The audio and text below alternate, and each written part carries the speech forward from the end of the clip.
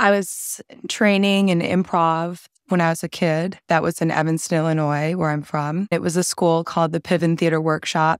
John Cusack and the Cusacks were going there, and Jeremy Piven. It was about three blocks away from me. So I would kind of run away there, sneak away when I had a babysitter and go see plays. And that was kind of the bohemian getaway of my neighborhood for me. It just kind of ignited something in me that just felt amazing. You know, it felt liberating. I was 12 and I had no ideas about becoming a professional actor. I had no professional experience. My parents weren't involved in the business at all. They were having open calls through an agency that was affiliated with the workshop.